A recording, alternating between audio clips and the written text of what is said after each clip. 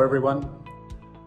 Well, it's been an incredibly hard three months for us all in the airline.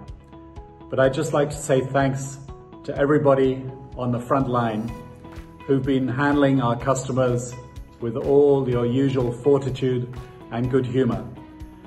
And a special thanks to the cargo team who've managed to mount an incredible number of charter flights from China, which have been carrying oxygen concentrators and other vital medical supplies. Really, to watch the strength and resilience of all of our people at Indigo has been very humbling. One thing we can be sure of is that better times are just ahead.